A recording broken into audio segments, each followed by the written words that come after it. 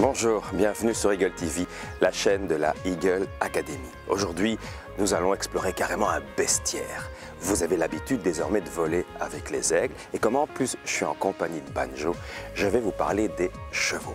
Que nous apprennent les chevaux? Les chevaux nous disent simplement qui nous sommes. Les chevaux sont un miroir pour l'homme, sont notre miroir.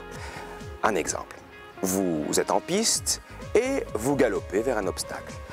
À l'approche de l'obstacle, vous pensez Ouf, cette barre est un tout petit peu trop haute. Hum, notre allure est un tout petit peu trop élevée. Nous allons trop vite. Bref, vous avez le sentiment que ça sera compliqué de franchir la barre. Alors, je vous rassure, vous allez franchir la barre, mais tout seul.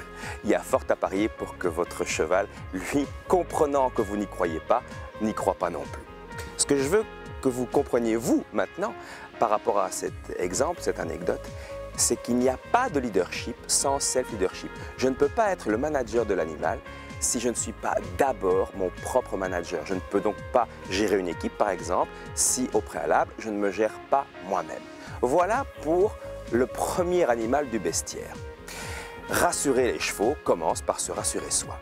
Dans le bestiaire, il y a aussi, et c'est moins drôle, les requins. Vos interlocuteurs requins vont détecter chez vous la moindre goutte de doute. Exactement comme le requin dans l'océan détectera à des miles de distance la goutte de sang de poisson. Dans un bassin olympique, paraît-il, il détecte une micro-goutte de sang de poisson.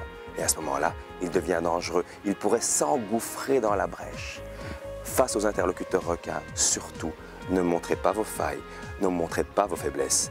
Être vulnérable, c'est bien, avec des personnes en face qui sont respectueuses, élégantes et bienveillantes. Avec des requins, gardez-vous-en.